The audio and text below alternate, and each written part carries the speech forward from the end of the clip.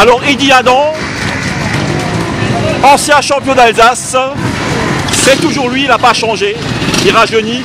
Alors Eddie Adam, quelles sont vos impressions pour le trial d'aujourd'hui Écoute, superbe, il va faire beau, donc c'est déjà un exploit. Est-ce que c'est plus dur qu'à Heiligenstein Ah, ça, je sais pas, je. je- la- la pre- En fait, Beutal, c'était mon premier trial euh, quand j'ai démarré, quoi. Donc, je me souviens vaguement, alors je sais pas le niveau de Donc c'est que des bons souvenirs. Quoi. Voilà. voilà. Donc tu te verras demain sur internet.